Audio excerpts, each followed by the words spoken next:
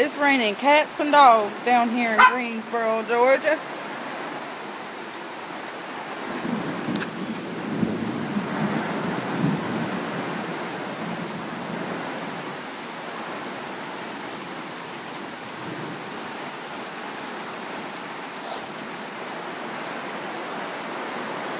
This is what our thunderstorms look like, how they say they're supposed to be so big and so severe.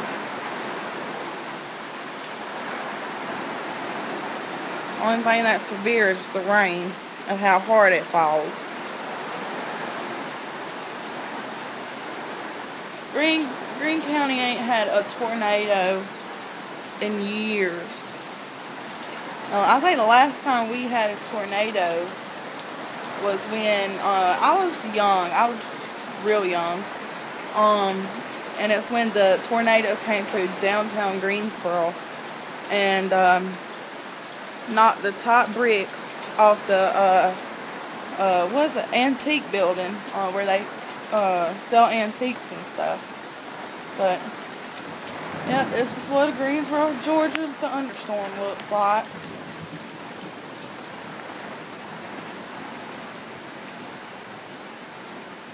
Not that bad.